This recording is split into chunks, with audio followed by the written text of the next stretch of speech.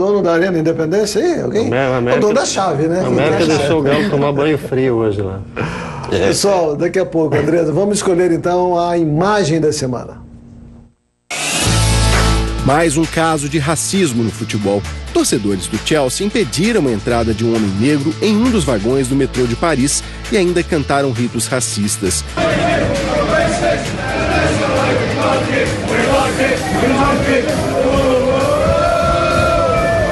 O incidente ocorreu antes do jogo entre Blues e o Paris Saint-Germain pelas oitavas de final da Liga dos Campeões. O Chelsea anunciou que, após a identificação, vai proibir a entrada dos envolvidos no estádio do time. O brasileiro Anderson Silva foi suspenso temporariamente pela Comissão Atlética do Estado de Nevada. Ele foi pego em dois exames antidoping no retorno ao octógono na luta contra Nick Dias. O brasileiro foi flagrado por uso de esteroides anabolizantes, além de ansiolíticos e sedativos. Se for condenado, Anderson Silva corre o risco de ficar de nove meses a dois anos sem lutar. Em uma postagem no Instagram, o lutador negou o uso de substâncias ilegais e disse que vai provar isso. Hooligans holandeses depredaram pontos turísticos do centro de Roma e entraram em confronto com a polícia italiana. Mais de 30 holandeses foram detidos. Eles estavam na cidade para acompanhar a partida entre o Feyenoord e a Roma pela segunda fase da Liga Europa no Estádio Olímpico. Bom, vamos começar aqui com o Valdir. Qual é a imagem da semana para você, Valdir? Eu estou vendo esse lance da, lá de Roma e me surpreende porque os holandeses não são muito disso, mas o que está me surpreendendo é o seguinte: se fosse aqui na Praça 7, iam dizer a polícia foi extremamente severa, cobriu o bambu nos caras. né? E lá, o que, que a polícia de Roma fez? Bambu nos caras. Por estão depredando. Né? Agora a imagem que mais chocou foi essa da França, do torcedor francês. A número Número um, um do racismo. Ok. Andresa. Eu fico com a imagem número 2. Essa história do Anderson Silva está se prolongando demais, as pessoas não conseguem mais entender o que aconteceu. Ele vai para as redes sociais e fala que ele é inocente, às vezes posta algumas mensagens meio enigmáticas, como uma que ele postou de um tubarão sendo, é, devorando uma. Uma, uma, foca, uma foca. Então, assim, é uma, é uma história que está meio nebulosa. Assim. A gente não entende o que, que aconteceu, mas ele jura que ele é inocente. Morta. A imagem do Anderson ela é relevante, mas a imagem de Paris ela é emblemática. Ou a gente reage a essas barbáries, ou não sabe para onde é que o mundo vai caminhar. A número um. É, são três imagens fortes e todas as três condenáveis, né? Violência do futebol, o uso de anabolizantes, mas a número um tem que acabar. Essa história de racismo é idiotice total.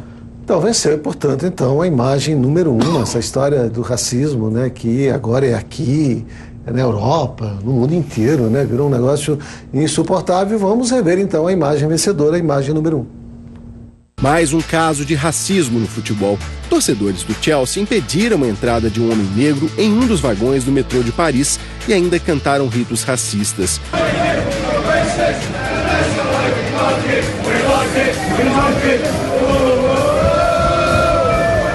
Incidente ocorreu antes do jogo entre Blues e o Paris Saint-Germain pelas oitavas de final da Liga dos Campeões. O Chelsea anunciou que, após a identificação, vai proibir a entrada dos envolvidos no estádio do time. Obrigado muito. Pois é, é o seguinte, vamos agora lembrar o seguinte, a Cruzeiro, América e Atlético e Caldense compõem aí o G4 do Campeonato Mineiro de Futebol. Vamos conferir aí como ficou a classificação depois da rodada de hoje.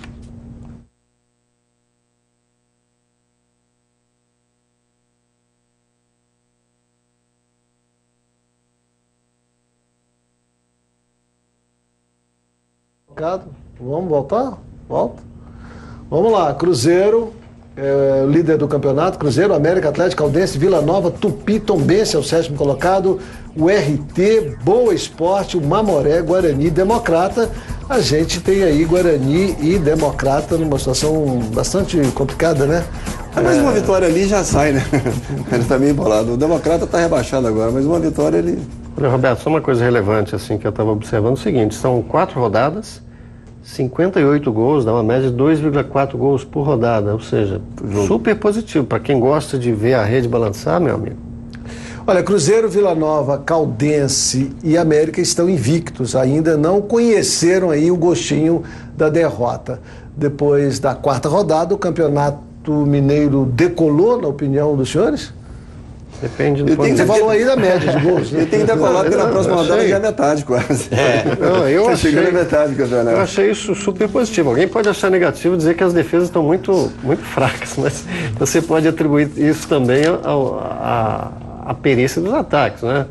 É, o, Atlético- o Cruzeiro deve começar a usar time reserva também, né? O- Valdir, vai? Não, não é questão de usar time reserva. Depende do, do- do- do- da sequência de jogos na Libertadores e no Campeonato Mineiro. É claro que o Marcelo vai montar a equipe que melhor lhe convier para os dois jogos. Olha, a rede balançou em Tombos e também na cidade de Poços de Caldas. A Tombense abriu o placar aos 17 minutos do primeiro tempo com o gol do zagueiro Alexandre, que aproveitou o rebote para marcar. A equipe continuou pressionando o Mamoré e aos 27 minutos, Daniel Amorim ampliou o marcador. O terceiro gol da Tombense veio na cobrança de pênalti de Joilson no canto esquerdo. A reação do Mamoré só veio aos 27 minutos do segundo tempo, quando Marco Thiago soltou uma bomba que bateu na barreira e entrou no canto direito de Darley. Fim de jogo, Tombense 3, Mamoré 1. O primeiro gol no estádio Ronaldão, em Poços de Caldas, só saiu aos 42 minutos do primeiro tempo. Com um chute no canto do goleiro George, Nadson abriu o placar. Aos sete minutos da etapa complementar, Luiz Eduardo aproveitou o rebote e mandou para o fundo do gol, garantindo a vitória da Caldense por 2 a 0. Bom, chegamos aqui ao final do programa. Andressa, o que, é que nós temos aí? Gente, rapidinho, senão o Roberto briga comigo. A gente tem uma pergunta do Newton claro que Sérgio. não. Nunca, né? o Newton Sérgio quer saber por que, que o Neilton não foi inscrito na Libertadores. Opção do Marcelo. O Vander Júnior quer saber também do futuro do Júlio Batista. Bom, o Júlio Batista passa por uma cirurgia terça-feira em Barcelona, né? E é uma cirurgia simples, é apenas tirar um pedaço de cartilagem. Eu acho que em 30 dias estará voltando e tem contrato até o final de junho. E agora uma pergunta minha. Brian Ruiz, tem alguma chance de vir para o Cruzeiro? Não, nunca teve, nunca foi falado nem de lá para cá e nem daqui para lá. Isso foi uma invenção. pessoal. Guiotti, muito obrigado. O Guiotti tá aí. Me parece que vai fazer uma. tá fora de combate aí, tá contundido aí, né? Vai, ô, Rompeu o tendão do ombro aqui, vai ter que fazer uma cirurgia também, ficar inativo. né? Ah, tá, tá preocupante, Ah, mas- tá todo mundo preocupado com essa história. Você não imagina, porque é um desfalque importante aí, né?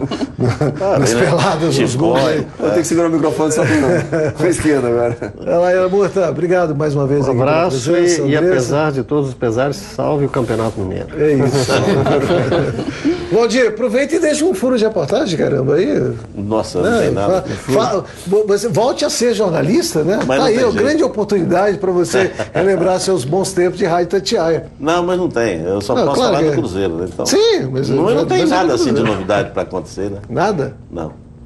Por enquanto, não. Nem de chegada, nem de saída. né? Nem chegada nem saída. Já, Ah, a inscrição vence amanhã, né? Pois é, já que o Marcelo, você falou que não vai usar o Neilton, tem chance de ser emprestado para alguém? Pode, pode ser negociado sim. Pode ser. Começou.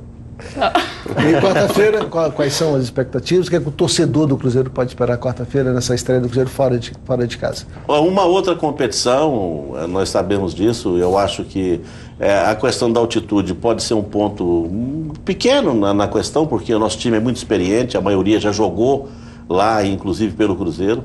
Então não teremos problema. O duro vai ser o jogo, que é um adversário chato, né? Universidade de Sucre, mas Tá vai ser um grande jogo. valorizando, tá valorizando, hein, Valdir? Não, jogar lá é Ok, complicado. gente. É, chegamos por aqui, o Atlético joga na quarta-feira, pega o Atlas, o Cruzeiro vai também estrear na Libertadores e o América estreia também na Copa do Brasil. América e Lusiane. Luciano. Nós ficamos por aqui, mais esportes. Amanhã, 11h30 da manhã, no Jornal Minas, primeira edição. E não deixe de aproveitar bem aí a semana. Valdir, muito obrigado. De nada, abraço.